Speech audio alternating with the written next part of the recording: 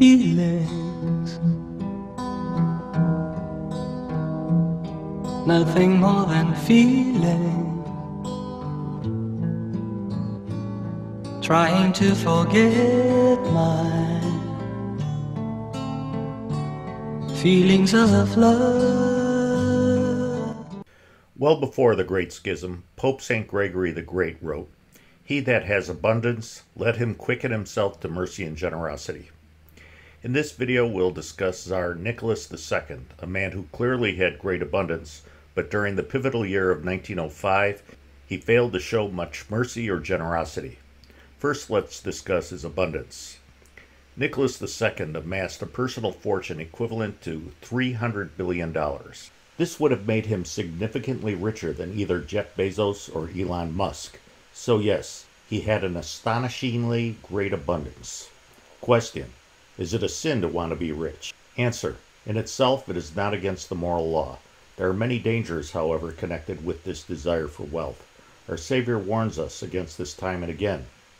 For instance, Scripture says, and again I say to you, it is easier for a camel to pass through the eye of a needle than for a rich man to enter into the kingdom of heaven. Also, Scripture tells us that, for the desire of money is the root of all evils.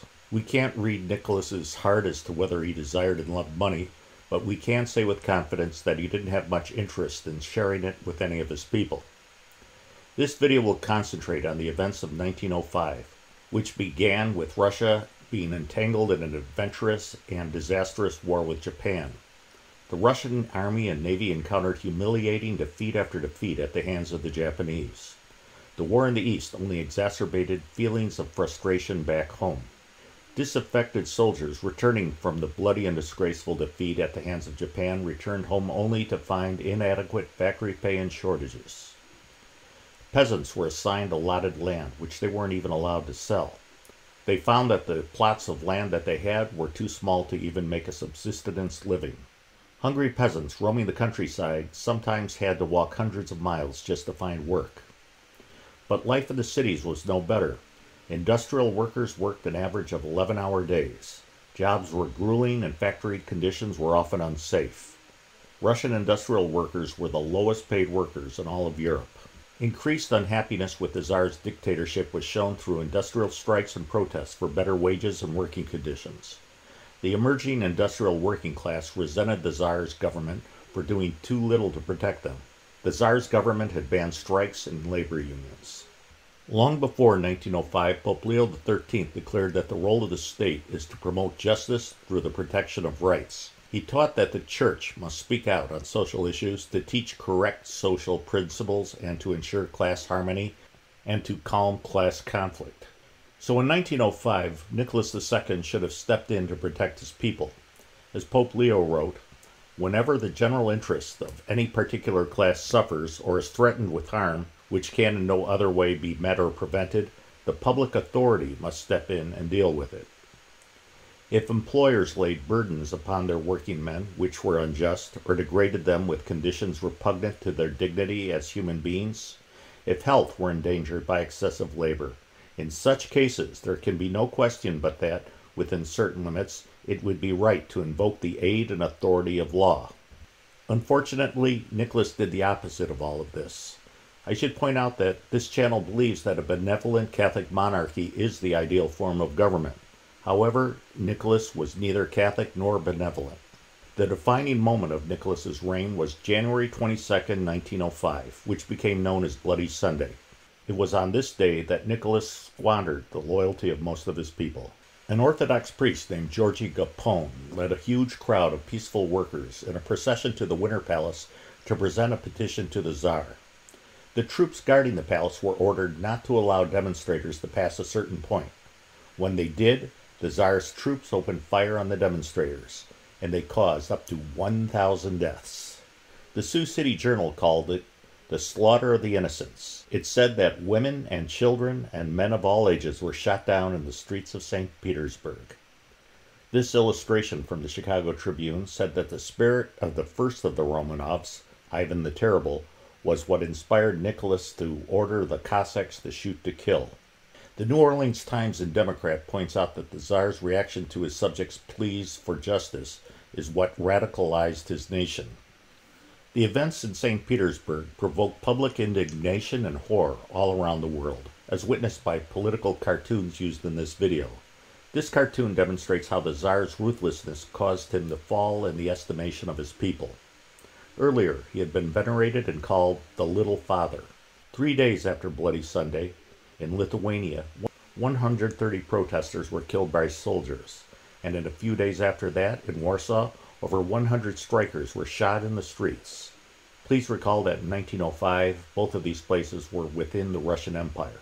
A series of massive strikes spread throughout the industrial centers of Russia. Half of European Russia's industrial workers went on strike in 1905. In Poland, the percentage was over 90%. By April, a strike by railway workers essentially shut down the country. Interestingly, though Nicholas had banned labor unions, three Catholic popes had affirmed the right of working people to form unions. So, what should a benevolent Christian monarch have done in the face of such unrest? Pope Pius XI later wrote that strikes and lockouts are forbidden. However, it was the Tsar's responsibility not to suppress the strikes, but to intervene and attempt to resolve the demands of his people in a just manner. He failed to do so, and that suggests he was not even a good or even adequate monarch. Though he had autocratic control over how things worked, he did nothing to ensure that labor and capital cooperated. And that wasn't the worst of it. There were also naval mutinies in multiple ports, peaking in June with a mutiny aboard the battleship Potemkin. The mutineers eventually surrendered the battleship to Romanian authorities on July 8th. Some sources claim that over 2,000 sailors were killed in the suppression. Here's a drawing from October of 1905. It shows the authorities cleaning dead bodies off of the streets in Odessa after a massacre. This cartoon in the Philadelphia Inquirer seems to correctly prophesize that the Tsar's actions were bringing about the beginning of his own end. Between December 5th and 7th, there was a general strike by Russian workers in Moscow. The government sent troops and used artillery to break up the demonstrations in the shell workers' districts. On December 18th, with about a thousand people dead and parts of the city in ruins, the workers finally surrendered. Throughout Russia, there was a large number of atrocities and summary executions. By April of 1906, about 13 to 14,000 people had been executed and 75,000 had been imprisoned. Finally, the Tsar was backed into a corner, so he came out and promised some reforms. However, they were of little substance, and Russia didn't see any real reform. Much of what was promised, such as the Duma, had consulting powers only, and then the Duma was taken away in short order. When people realized that they had been duped, it only fanned their anger. Many, if not most historians, contend that the events of 1905 set the stage for the 1917 Russian Revolution. It was clear to observers, even in 1905, that the Tsar's response to Bloody Sunday would be his own undoing. Nowadays, there are people who look back at the Tsar nostalgically and picture him as a victim of the Bolsheviks. But in a very real way, the false promises of the Tsar fed the radicalization that culminated in the revolution of 1917 and his own execution. So why am I even talking about Nicholas II? It's because the Orthodox made him a saint. And I certainly understand the feelings behind that. There is no doubt that Nicholas was heads and shoulders better than the godless brutes and thugs that came after him. However, did he have heroic virtue? Some might contend that he died for his faith, but there's less evidence for that than to say that Father Georgy Gapon died for his faith. Throughout this playlist, I've emphasized the similarity between the Orthodox and the Novus Ordo churches. Like the Orthodox Church, the Novus Ordo Church has canonized many sketchy saints.